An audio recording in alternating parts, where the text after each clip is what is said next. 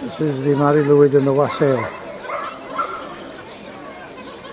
Blessing the apple trees in the dell below Chepstow Castle.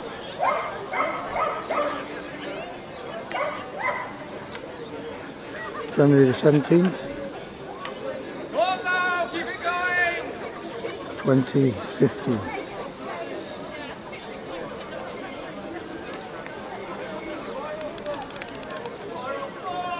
In the shadow of Chepstow Castle, Marten's Tower there, built in 1067, started by the Normans.